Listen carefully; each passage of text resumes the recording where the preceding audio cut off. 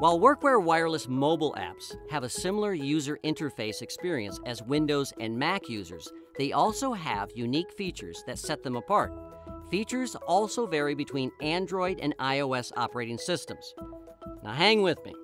Apple iOS mobile devices provide sharing of media files from your device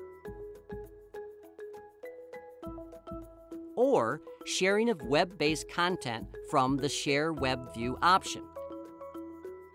This allows you to share any information that can be shown from within a web browser.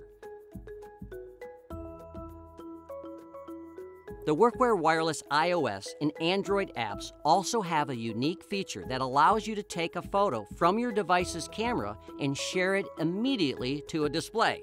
So, this would be a perfect time to take a selfie in your jammies.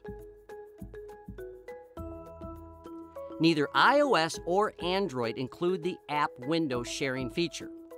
iOS devices do not allow mirroring of the screen of your phone or tablet. However, devices with Android version 5.0 and up allow mirroring of your entire phone or tablet's display in real time. Remember to check out our other videos to learn more.